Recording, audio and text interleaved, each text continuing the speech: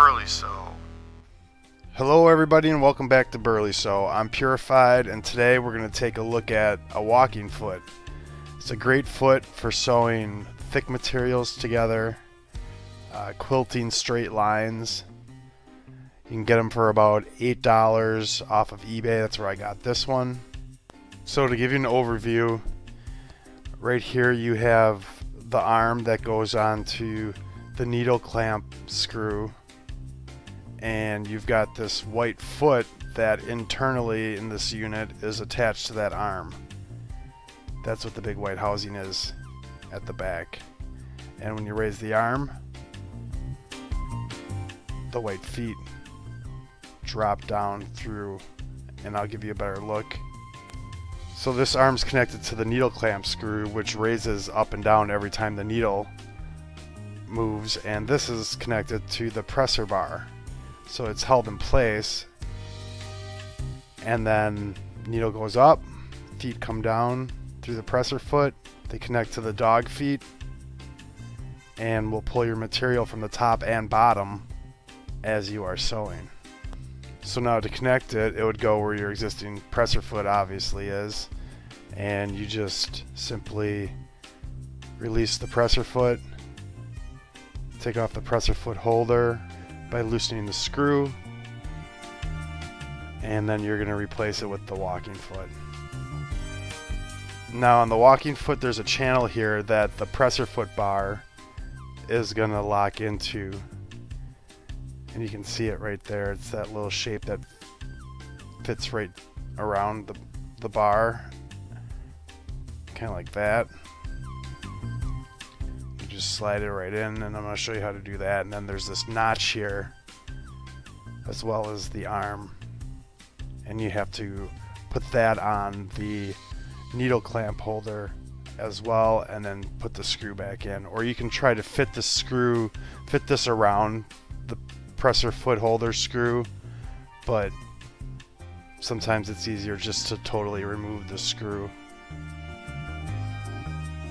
so I think for this demonstration, I'm just going to totally remove the screw.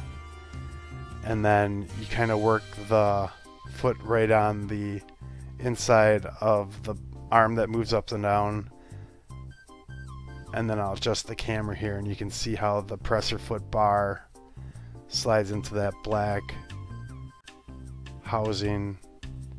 And you just have to maneuver it a little bit. You do a little jiggling and that's not quite in yet, but just give it a little pop and you can see how it kind of locks right around there. Now at the same time as you do that you actually have to take this top part the bar that goes up and down and put that around your needle screw your needle clamp screw and you can see how it just one motion you can lock it into place up top and then around the bottom and then you can just put your screw back in and I strongly suggest that you make sure that this is pretty tight. You don't want to over tighten it, but you don't want it to be loose either, otherwise you could break a needle. Um, as well as the screw up here. You always want to make sure that the needle clamp screw is tight as you're working through your projects. Make sure you keep checking it because the up and down motion will loosen it up. And now that we have it attached, the next thing I want to show you is on your machine, on this particular machine and on your machine, you should be able to take your presser foot and raise it up higher than the standard raised position. So you got it lowered here, but when you pull it up in the upward position, you should be able to go up further, and that'll give you clearance to slide your thick material underneath like this. And now that we've got our material underneath, we'll take a slow start here so you can see the motion of how the mechanism raises and lowers the foot and also pulls the fabric the direction that you're sewing. So I'm going to start off with a little back stitch here and you can sew backwards with this as well. And now I got my back stitch and now you can see that needle goes up, pushes the foot down and the material is just walked right through between the walking foot and the dog feet grabbing the material and it doesn't matter on the thickness. It's great for multiple layers, it's great for quilting, great for very thick materials. It's a, just a great all around foot to have. And I'll show you from another angle. The only limitations really are the types of stitches as far as you're going to only want to use what's going to work, work with a standard foot. So, uh, you know, your straight stitches and then it can handle some zigzag stitches as well. So there's a good look at the walking foot.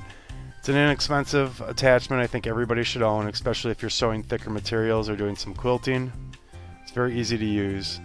So thanks for watching the video.